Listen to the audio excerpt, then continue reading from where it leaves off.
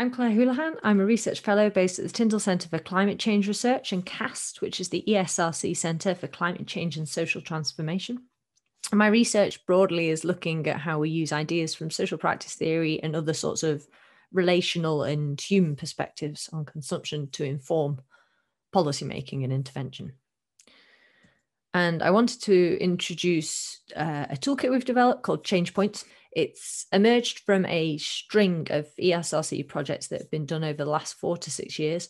Um, I was the lead on this toolkit development, but I'm sort of just the next in a string of researchers that have been working on here, which include Alison Browne, Matt Watson, David Evans, Mike Foden, and Liz Sharp it's also we've been really fortunate in that we've been supported by a really great group of project partners so this most recent round particularly by people in the water industry and also across kind of different spaces of food and waste. And yeah there's been really good uh, engagement throughout. So I, I quite like to start with this quote because i think it situates what we were trying to do really nicely. So in an era of dramatic environmental change social change is desperately needed to curb burgeoning consumption. So this idea that actually the way that we live our lives the way that resources are consumed and the way that demand is formed needs to change if we want to address socio-environmental challenges. However, calls to action have focused on individual behaviour and technological innovation with relative silence from the social sciences. And this was kind of our starting point, if you like. We wanted to understand what it would take to address that relative silence. And so at first, this project was kind of about recognizing that there's different ways of framing intervention and that we need to be using the full range of possibilities for intervention if we want to address the kind of complex social environmental challenges that we face today. So this table sort of summarizes four different types of intervention framing. Um, theories of change, as it's sometimes termed in uh, policy spaces. So our, our, first was about recognizing this kind of technological change or change in service systems that's designed to accommodate and compensate for unsustainable practices. We've then got these middle two tiers that are kind of different behavioral perspectives that position individuals as more or less social creatures with appropriate methods following on that either persuade and incentivize individual behavior change in different ways. Then there's a series of more socio-technical perspectives. So practice theory is one, transition theory is another. And there's other examples that position demand and consumption as the emergent outcome of social, material, and political developments in society. So it's more distributed and more systemic approach. And really, so what's telling is while there's been quite a lot of action on kind of the first three layers of this table, there are relatively few examples of purposeful socio-technical interventions being put into practice in industry and policy. And given the variety and enormity of social environmental problems that we face today, there's an open question about what more might be done if we were to take seriously this idea of socio-technical change. And so social practice theories are one of the more established sort of socio-technical approaches demands as an outcome of different assemblages of materials, meanings, so ideas about the future, cultural conventions, sort of expectations that people have of themselves and of each other, and competences are like abilities to actually go about things in certain ways. And the beauty of practice theory it enables the unpicking of heterogeneous complexity. So it recognizes the complexity of social life, Uh, which not only gives us a tool for social scientific research, but it also gives us a way of reframing policy problems. But while practice theories have gained considerable traction in, in kind of research spaces and lots of interest from policy institutions, there's relatively little evidence of kind of purposeful efforts to put them into practice. And for us, really, this was kind of a bit of like a reflection on academia and what we've called like the ABC of academic outputs. We're really great at doing research and sharing research, but there's this kind of underwritten expectation in the mode of academic outputs that research users will take our research and put it into action but really like it's much more complex than that. So professional practices policy making practices the, these are routinized practices. They are deeply enmeshed in sort of socio material ways of doing things. Like they, they are routine. They, the idea of evidence-based policy making is that it draws on familiar types of evidence and puts it into practice in familiar ways. They use familiar sort of processes and tools and enact certain imaginaries about the future and really, to kind of unsettle these sorts of policy practices, then we needed something a bit tangible in forms of output. And so this is what took us towards a toolkit. And I love this quote. So there's loads of definitions out there on what a toolkit is, but this quote is a really nice capture of what it is that we were trying to do. So, a toolkit is a metaphorical box of resources, processes, instructions, and materials to help someone implement something without having had to spend years thinking about it. A way for someone to access strategy and the intel included in it without themselves having to be an expert that developed it. And so, change points, you know, fundamentally, it's a workshop method. It's it's a, a booklet that includes instructions and also the kind of schemas, if you like, to conduct a practice oriented workshop. It's focused around six exercises. So the first is a problem scoping exercise. It gets people to think about what is the question you're asking and how do you reposition it in a slightly more practice oriented type way. And then the next three are a series of um, kind of opening up exercises that start to reframe this problem and the idea of consumption in more practice related terms before focusing on five and six, which uh, take these ideas and develop an intervention. And I wanted to talk about these kind of middle three exercises. So the first one is about recognizing diversity. So one of the great things about social practice theories is it provides a really robust way of unsettling an idea of average consumption. So it's generally well accepted average the idea of an average is unhelpful. It's useful if you want to predict future consumption, but it, it's really unhelpful in terms of thinking about framing intervention because it, it disguises a lot of the. But look at the diversity in that. So even something like toilet water use, which you would really expect is quite standardized over households with a similar number of people in it, it's not. And you can see this big dark green band at the top varies quite intensely between households. You've also got things like the showering there and the bath that like range from being non-existent to quite significant chunks of their average water use. And the, the point here really is to get people thinking about why. Why does people's resource use vary and what sorts of opportunities does that pose for intervention? And so Change Points guides anyone using it to think about how these personal differences, but also differences in household structure, in the geography and things like this, affect um, resource use.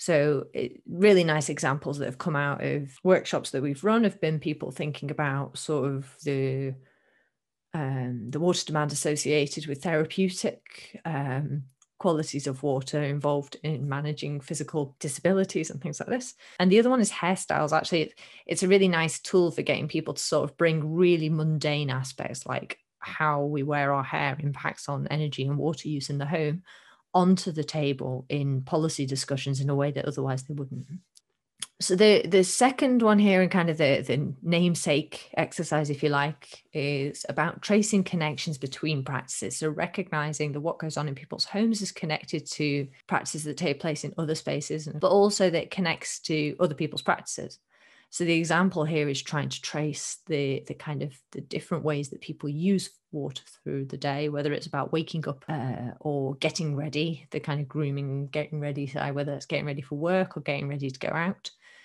Getting clean, the sort of the the flip side to that is once you've done whatever it is you were going to do, that act of getting clean, getting removing sweat, removing grime, removing stress, and settling in the day. So this is really about recognizing the ways that um, water use connects to different practices. So, particularly exercising, working, caring, whether it's for self or others, and the opportunities that that presents and the different kind of spaces for intervention. And so, change points is the idea that there are recognizable moments in everyday's routine where a person performs a practice. And in that moment of performance, there is the potential for practices to be reconfigured slightly differently. And that means there's a window of opportunity here for a carefully designed intervention to, in some small way, like we're not overstating this, you can't magically design an intervention that's suddenly going to change the way that people shower and get ready for work, but in some small way to enable the pulling together of a practice assemblage in a slightly different way. Um, the final exercise, and this is kind of a staple for these sorts of approaches, is to think about mapping complexity and really kind of putting putting a label on the many different sort of actors and what role and influence they have on the way we do what we do. And this picture is not very clear. I apologize for that, but you can see in it that there's things like the weather, there's things like the presence of children, the diff- different people's commitments to sport and exercise goals, the different spaces that they work in. So, whether it's about bathroom design or other facilities that they have access to in the day, the types of clothing that they wear, and therefore the connections to like the fashion and beauty industry, the the role of advertising, and it's just a way of kind of really pushing this bracket about what is intervention, what are the different opportunities, the different sites, and all these different actors that need to be pulling in the same direction if we are to create change. So, with the couple of minutes that I've got left, I thought through I I talk very briefly through an example, um, and we use this toolkit with Anglian Water to look at the issue of unflushables. So these are products that cause problems in sewers having been disposed of via the toilet. Um, things like wet wipes and menstrual absorbents, which combine with fats and oils in the, the sewer system and cause blockages. So, for a sense of scale, the, the cost of fixing sewer blockages in the UK is somewhere around 88 million pounds a year, and about half of these are kind of accredited to unflushable. So it's a serious. And we wanted to use um, change points as a way to understand why why are these products flushed why did they get there in the first place and it, it provided a really nice tool to sort of open up this question beyond the idea of like why why does an individual bin this product thinking about the the broader social and material factors that actually contribute to flushing unflushables. So it highlights things to do with um, the commodification of hygiene, for instance, and the idea that actually we are driven to use disposable products. It sounds obvious, but it's not always on the table as an opportunity for intervention. Um, it's things like infrastructures and materials are designed to provide for a modern lifestyle, which is dominated by convenience and also to be cheap and easy to use, which affect the qualities of those products it's also about the sensory experience of dirt. So even when health professionals are sure that the risks are relatively ne- negligible, for many people, they want uh, products contaminated with blood and feces out of their hands and out of their homes as fast as is possible. And this is one route of doing so. There's also a gender dimension. So there there is a you know it's disproportionately women's products that contribute to these things and so there is that kind of obvious thing but men also use unflushable products and there's all sorts of other kind of gender dimensions to the individual product use um, and there, there is kind of the the real key here was actually being a little bit cautious about the uh, disproportionately associating unflushables with women and with members of specific groups there's things to do with product design, there's things to do with bathroom design. There's also this kind of issue. So in the UK, more than most European countries, we, we expect a lot of our sewer system. It was designed and originally kind of marketed, if you like, as a way of removing wastes from the home. And it, it, it's become very expected that actually the sewer system will handle any sort of waste outflows from our homes, which it's no longer necessarily capable of doing. And So this workshop brought together representatives from 30 different organizations across the kind of hygiene and waste industry, if that is an industry, to ask what can be done about it. And really, I just wanted to show here that actually it does provide a tool that gives imaginative resources to help think about uh, behavior change campaigns essentially in a very different way. So, out the back of this, this is four of 10 uh, interventions that were designed, and there is a report available online.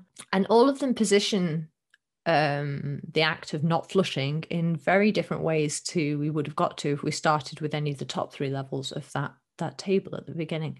So there's this idea of bins for boys actually lobbying for changes in the workplace regulations to ensure that sanitary bins are available for everybody. Baby boxes, which runs with this idea of like giving people the experience and the opportunity to experiment with new things around a moment of change, there's the possibility of forming new habits and new practices.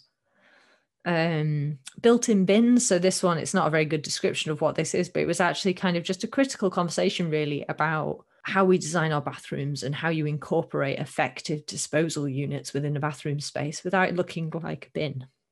And there was a lot of talk about stigmas and actually thinking about how you open up an idea of uh, menstrual dignity in schools and the idea that actually it's not such a gross thing to have to go and rinse a uh, menstrual cup or something like this, and that there are stigmas here that need to be overcome um, in order to facilitate different forms of disposal practices.